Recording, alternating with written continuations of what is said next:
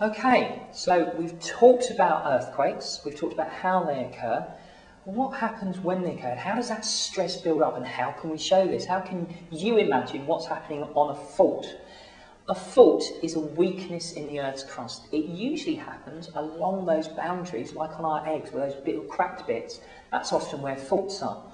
And so what I thought I'd do is show you how a fault builds up strain and how that strain is released.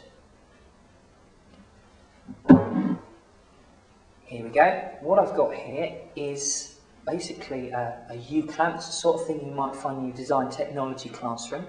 And this here and here represents the earth and the processes on them. Now there's pressure from this side and there's pressure from this side. This here in the middle represents our rock, a bit like the rocks that I just showed you before, but those rocks are having pressure built up and up and up on them. What do you think is going to happen if I twist this end? Let's see what happens when I start to twist it, okay? Okay, I don't know if you can see. There, there's a bend. It's just starting to bend. Okay, if you look at that carefully, it's starting to bend. This is exactly what happens in the Earth's crust.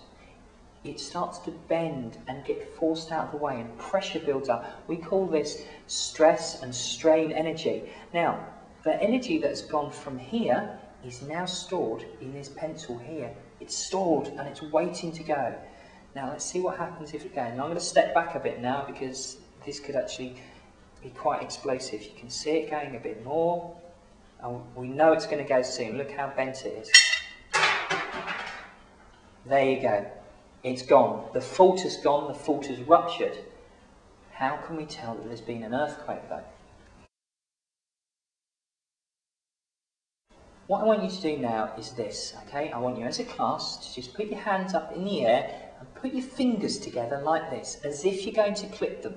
Don't click them yet, just hold them in the air as if you're going to click them. Good, now you've got your fingers in the air and you're about to click them. What I want you to do is carry on putting pressure on them, but don't click them yet. What can you feel? Okay, well, let me tell you what I'm feeling at the moment. I can feel the pressure building up on my fingers. I can feel heat building up on my fingers. Now what am I going to do? I'm going to click them. I want you to do the same thing. At the same time, see if we can.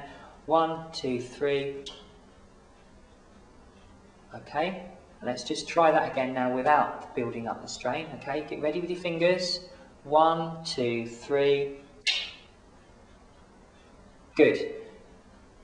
Now close your eyes. I'm going to do that again, and I want you to put your hands up when you hear my fingers click. Ready? One. Okay, I'm sure many of you have got your hands up.